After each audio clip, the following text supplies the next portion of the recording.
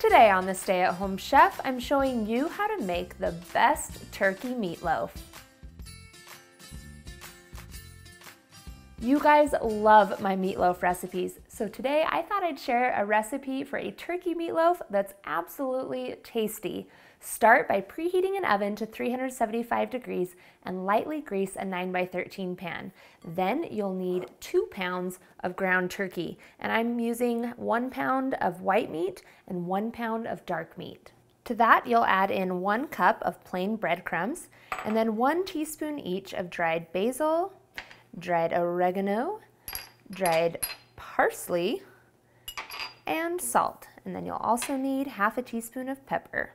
Then we have two wet ingredients that will bind this all together. You'll need half a cup of milk, and then you'll also need one tablespoon of Worcestershire sauce.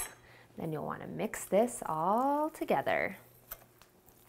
You don't want to overmix this, just mix it enough so that the breadcrumbs and all the seasonings are evenly dispersed throughout the meat. Then we're going to shape it into a loaf. Scoop this all out into your prepared 9 by 13 pan and then gently shape it into a loaf. Now every good meatloaf has a delicious glaze, so next we're gonna make that glaze. It starts with one cup of ketchup.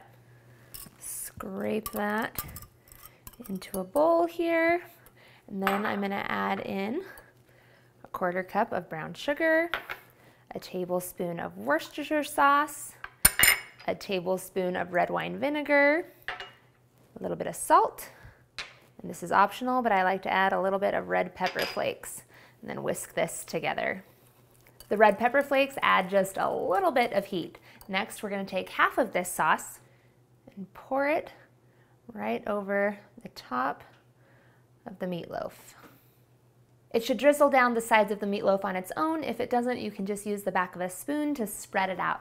Next, we're gonna bake this for about 45 minutes. After 45 minutes, take it out of the oven and pour on the rest of your glaze. Increase the temperature to 400 degrees and bake for an additional 15 minutes to let that additional glaze caramelize a little bit and get everything all delicious. And then you're ready to eat.